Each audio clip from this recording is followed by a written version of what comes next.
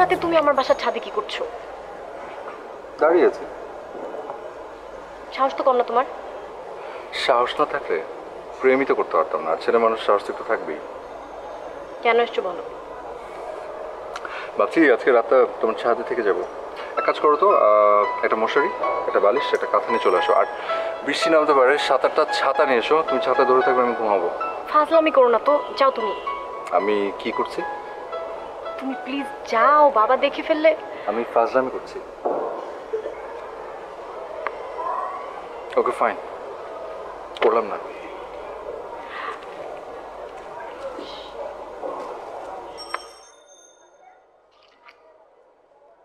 যে জন্য এসেছিস সেটা নাও। ধরো। এটা কি? পারফিউম এটা ভর্তি পারফিউম ধরে নাও আজকে পারফিউম দিবস। তুমি যে পারফিউমটা ইউজ করো এটার ভিতরে ওটারই সবগুলো। আমি অনেক কষ্ট করে এক হাজারটা দোকান ঘুরে খুঁজে এতগুলো ম্যানেজ করেছি। যদি কখনো হারিয়ে যাও তাহলে এই পারফিউমের স্মেল আমি সুখে সুখে তোমাকে খুঁজে বের করে নেব। না ধরো। তুমি একটা পাগল। জানি তো। আমি এটা এখন বাসায় কীভাবে নিব? তাও তো ভারী না। অনেক এক কাজ করি আঙ্কেলকে ডাক দিই। বাবা! চুপ! আমাকে দাও। একটা সিটি পর্যন্ত তোমাকে এগিয়ে দিই। এটা সিঁড়িতেই থাকবে আমি বাসায় নিতে পারব। না চলো। কি? তো এখান থেকে মেখে যাও।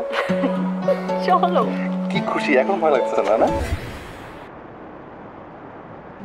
এখানে এই স্মেল কেন?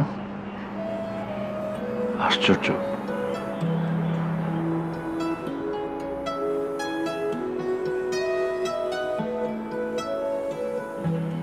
এটা নিয়ে ভাবার কি আছে? এই পারফিউম কিংবা বডি স্প্রে এটা তো শুধু একজনের জন্য বানায়নি হয়তো এই গাড়ির মালিকের পরিবারের কেউ এই পারফিউম ব্যবহার করতো।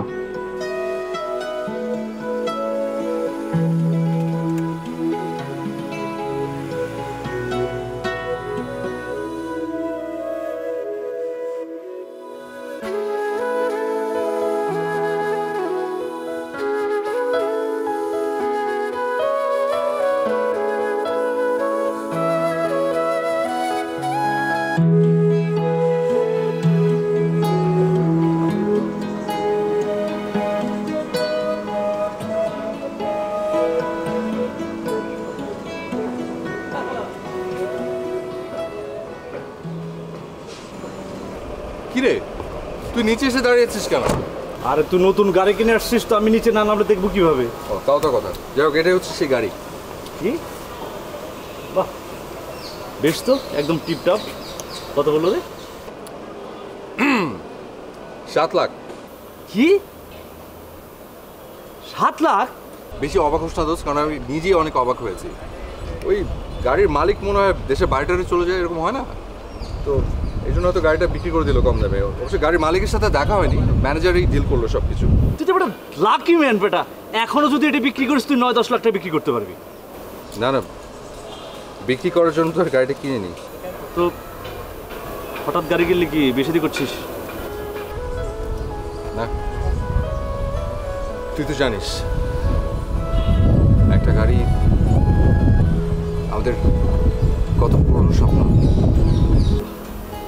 ঠিক আছে এসব পুরোনো কথা বাদ দে।